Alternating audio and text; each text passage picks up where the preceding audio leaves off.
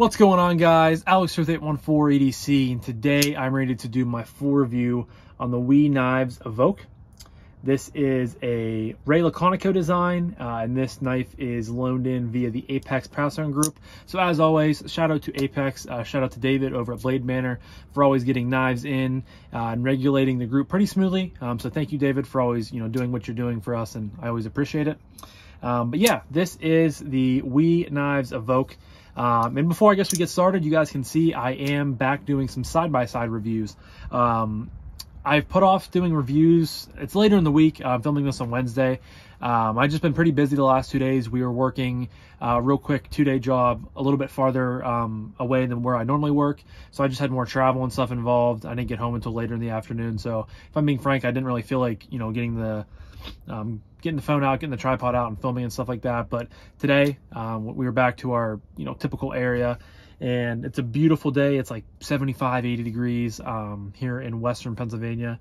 So I was like, you know what? Let's go take advantage, bust a couple videos out in the side-by-side. -side. Um, it is a little windy today, so hopefully you guys are able to hear it okay. Um, I think I found a good spot to where the wind is blowing, um, you know, not causing a lot of havoc. And plus I have the windshield behind me. Um, you guys can see I have, you know, the, the plastic uh, winter, like, um, uh, cab basically still on the side by side. My dad hasn't taken it off yet, which is kind of helping the wind. Um, so again, hopefully you guys can hear everything okay. But uh, you guys know I do a lot of side by side reviews in the summer. I just really like to take advantage of you know the warm weather, the natural light, um, and it's just a good you know I get to go out and do my own thing in my own space. Um, so I you know find a nice spot on the property, and here I am. But back to the review, um, the WE Evoke. This thing is pretty cool. I really enjoyed it. Um, you know, it's it's a Laconico design, guys. You know, I've this is actually the only the second no. I've reviewed a couple MBKs. Um, I've had a couple MBKs. You know, Ray and uh, Sanford Owen are you know collaborators on that. But I've had the um, oh I just I just sold it the WE uh, Esprit. I just got rid of that knife. I wasn't carrying it a ton. I'm you know just, you guys know moving stuff to to get new stuff in. Um, so when I saw this pop up on the uh, Apex Slack group, I was like, oh, I really want to check it out. Uh, I finally got to check it out, and it is a really, I, I like it. Um, it's slim, you know, it's fidgety, it's slicey, um, and that's kind of the first impression before I get into materials, before I get into action, ergos, carry, you know, my typical review stuff. That's kind of the first thing that I really want to point out to you guys is it really impressed me how thin this knife was. Um, you know, a lot of Ray's designs, they're very similar, but they're different at the same time. But you guys can always pretty much tell when it's a, when it's a Laconico design. Um, sorry, I have a little allergies are getting to me today. Uh, actually, this whole week. Uh, so if I sound a little stuffed up, I have a little postnatal drip going on. But get a little sip of water there. All right. Um, what was I saying? Oh, it's a if it's a Laconico design, you guys can always kind of tell Ray's design language. Um, I like a lot of his stuff. You know, it's it's very simple very utilitarian, very, you know, just it flows nice. Uh, and I think the Evoke is, you know, very in line with that. I guess we're going to jump right into materials. So you have a, I believe, 20 CV blade. Um, I actually never thought to look at the, um, the, you know, specific blade steel, but I'm 99.9% sure it's 20 CV. That's what we use a lot of time on their um, premium models. And I just I just looked it up before I came outside because I wanted to double check the price point on it. Um, and you think I would have checked, but no, I didn't. Um, so that's on me. But I believe it's 20 CV, and usually they're on the um, on the knife, but this does not seem to have it anywhere. So that again is on me. You know, blame me if you want, but I believe it's 20 CV. You have a I think they're classifying it as a clip point, but it has a little bit of a Bowie-ness too. So it's it's a combination, in my opinion, of a clip point and a Bowie. Um, a very nice swedge build on top here. Comes down to a pretty thin edge. You know, it's it's a pretty thin blade stock, but I've definitely felt thinner blade um, thicknesses behind the edge. But it's definitely, you know, slices fine. Um, it worked out well for me with, you know, some paper tests, Amazon packages. Um, you know, I did a little bit of cardboard, nothing too heavy. Um, you know, it's I don't do a whole lot of, you know, hard use with my knives, but it cuts well for my needs. You know, I performed up to my tasks, had a good edge on it, and I don't know. I think I've it's already been to a few channels before, so you know it's been through a little bit of you know work and you know processing before I got the knife. Um, but beautiful blade, pretty, you know, decently thin grind, nice wedge. Um, I'm not a huge clip point or Bowie style, you know, fan, um, but I think it flows very well with the overall, you know, aesthetic of the knife. You obviously have dual thumb studs that are anode to match the blue tie, um, full blue tie body with the WE pivot. Mill titanium pot clip that is only righty carry, so sorry to you lefties out there. You have some relief cuts cut in right there. It is a frame lock on bearings. Uh, then you also have a front flipper up there, which juts out very, very nicely. Don't want to talk to Siri, but the front flipper works well. Um, it's on, like I said, bearings. There is no internal milling going on, um, but honestly, it's it doesn't really affect it that much. Like for the size of the knife, um, the blade length is, I believe, 3.48 inches, so a three and a half inch blade. Um, you know, it's I believe it weighs right around 3.5 to 4 ounces, somewhere in that ballpark. But it doesn't. Could it have, you know, skeletonized um, or internal milling going on? in you know in the titanium sure but honestly it doesn't need it. Like i'm not you know yearning for this to have you know a lighter carry um because i never you know never thought that never really you know gave it too much thought on how heavy it was but now the wind's picking up so you know hopefully you guys are able to hear but i'm sorry if there's some muffles you know and some some weird um, noises going on but we're just gonna keep chucking through. Um yeah i think that's all for materials. Uh there is a lock bar excuse me a lock bar um, interface. Um, screwed in right there. And I think there might be an over, I don't know if that's an over travel stop or I was, it's, it's always hard to tell from, you know, from my perspective with those. Um, backspacer right there with a lanyard toe or toe with a lanyard post.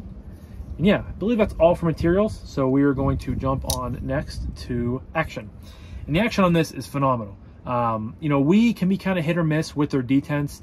The last couple of knives that I've had have been pretty good, but I've seen other people videos, other people's videos that have been, you know, sort of weak, sort of on the, you know, lighter side. But I've always had pretty good, you know, luck with getting solid detents. Uh, and this is, you know, following suit with those previous WE knives that I've had in. Um, but you guys can hear, pops back into place very nicely.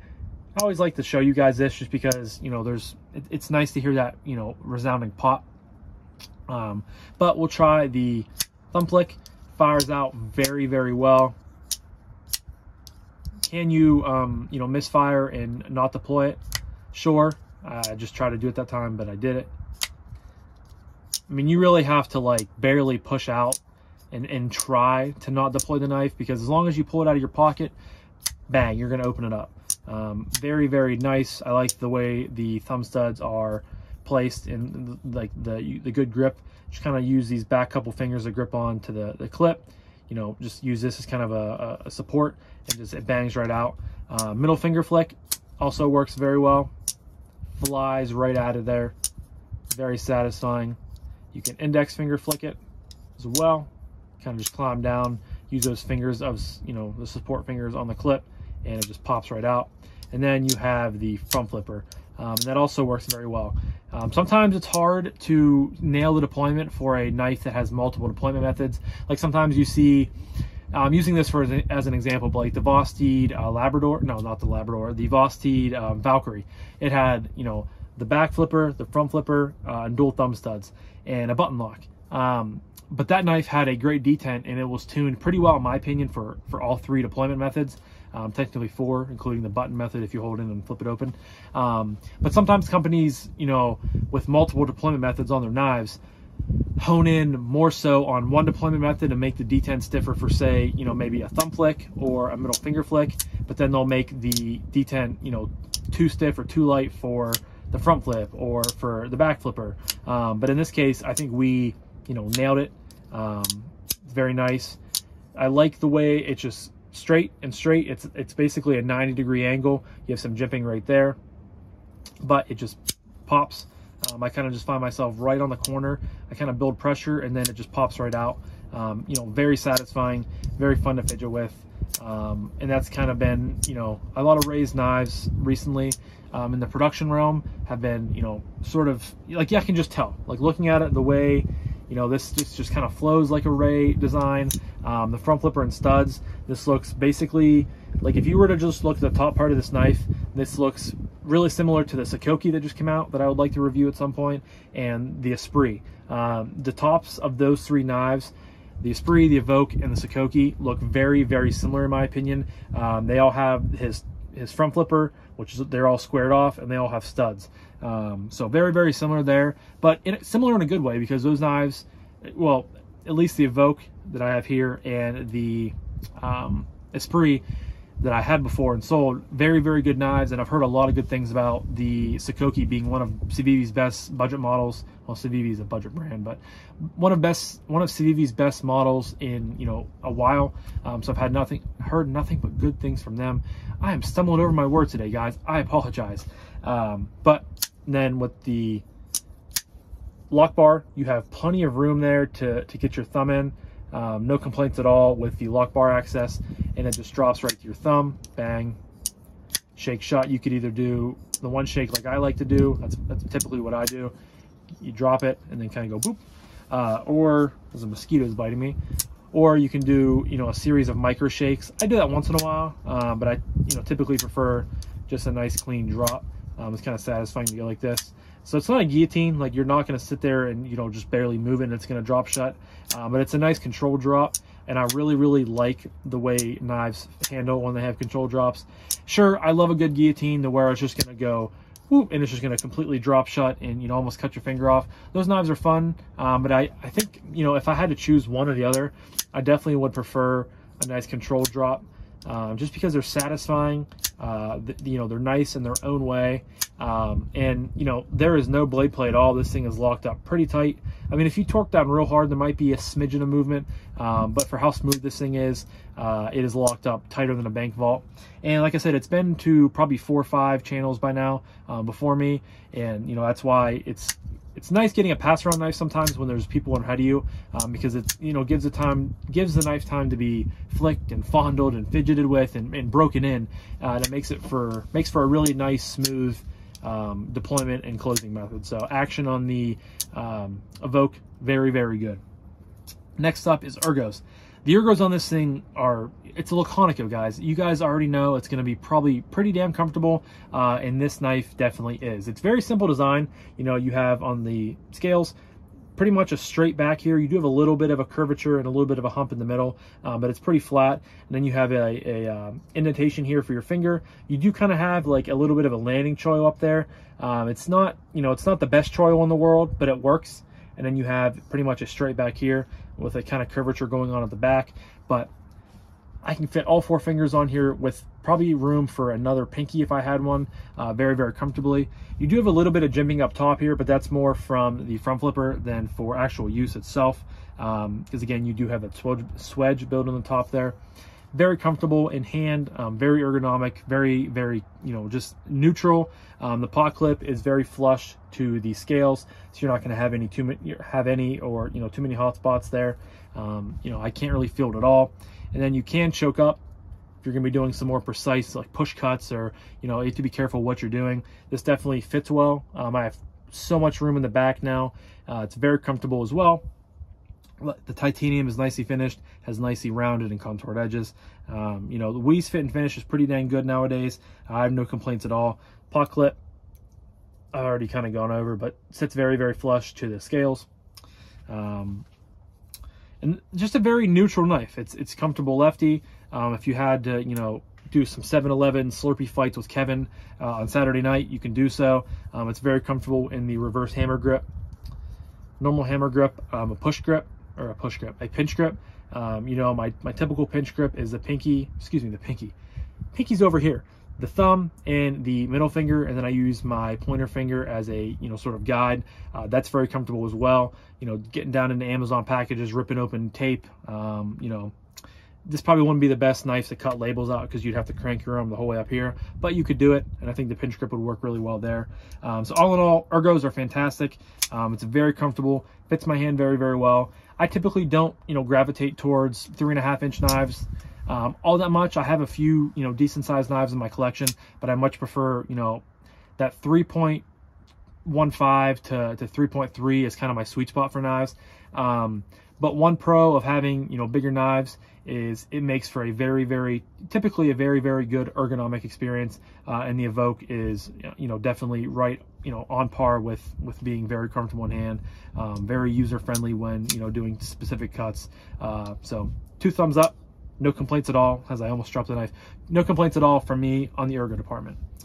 That leads me to my category where I like to talk about something called carry. fidgeting with this knife today, guys. Um, you know what? who cares? I just feel good to be outside. I feel good to be filming. It's been like a week and a half since I filmed. Not a week and a half, about a week since I filmed.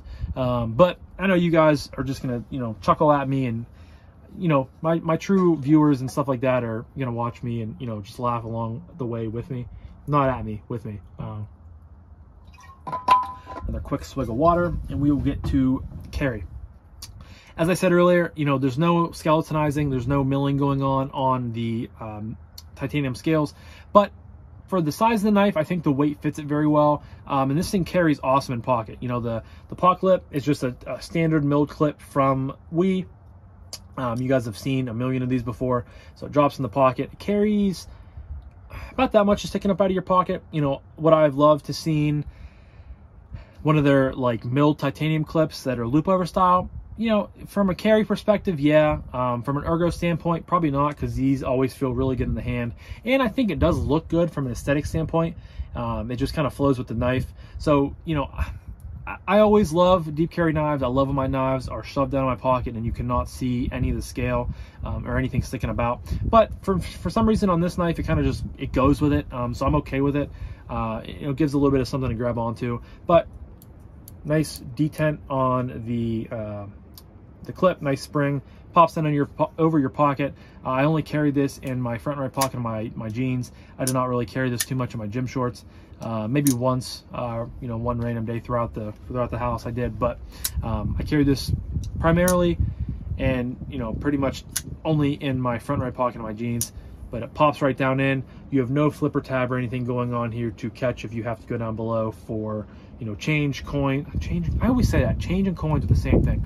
Change, chapstick, medicine, um, anything, you know, keys that you might have down below. Um, you're just gonna go in, grab what you have to grab, and then boop, back out. You know, your knife's gonna stay put. Um, so it just it carries well. Could it have had a reverse paw clip or a filler tab over here? Absolutely. Um, you know, the knife really isn't curved anything special. Like it's, it's pretty much straight. So you definitely could have put that knife on the other side. Um, but again, you know, I think I said this one of my reviews before.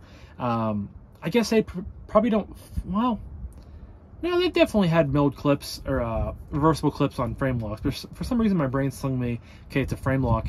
You're not going to have a um, reversible clip because that's just kind of I don't know why my brain's telling me that, but I've definitely seen, I think, frame locks before with, you know, reversible clips, but I could be wrong there. Um, but regardless, it carries well. You know, for the for the size of the knife, I think the weight is very much adequate for it. Uh, so no complaints at all there. Um, and it, you know, is it the best carrying knife I've ever handled before? No, but it, it does it very well. Um, and again, no complaints at all from from me in the carry department. So that leads me to my final category of price point and what I recommend this knife. Price point on these, um, I just checked White Mountain Knives before I came up here to do the video. Uh, they go for $219. This specific version is sold out, but I'm going to leave a link in the description down below uh, to the whole Evoke, you know, sort of selection on um, White Mountain Knives.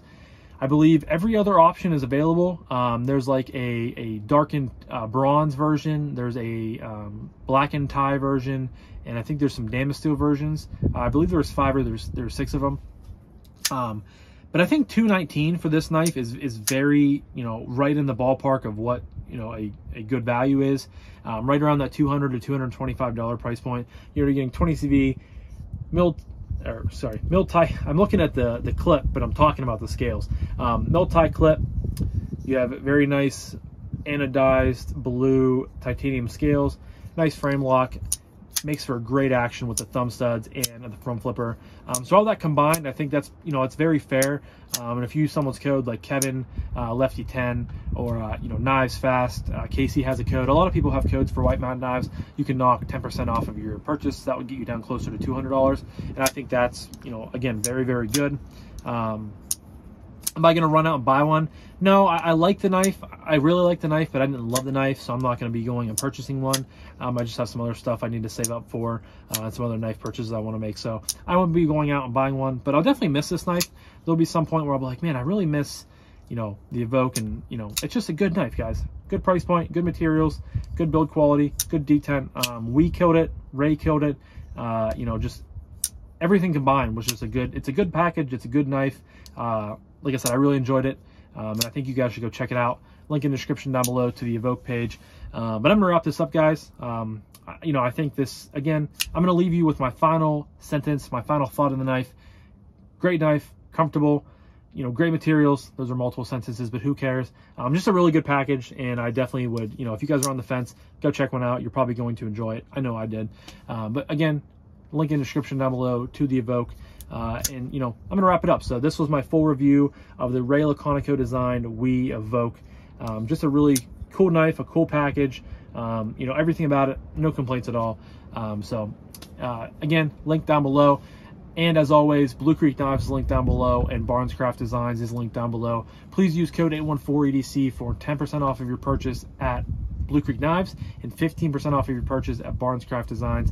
Helps you, helps me, helps Brian, and helps Holden. It is a win-win-win, as I like to always say. But thank you guys so much for watching. I'm gonna wrap this up now before I start rambling, and you guys know what I what I do when I ramble. So um, I appreciate each and every one of you. Um, I thank you guys so much for watching. I hope you guys have a fantastic rest of your day, morning, evening, night, whenever you're watching this, and I'll talk to you guys in the next one. Peace.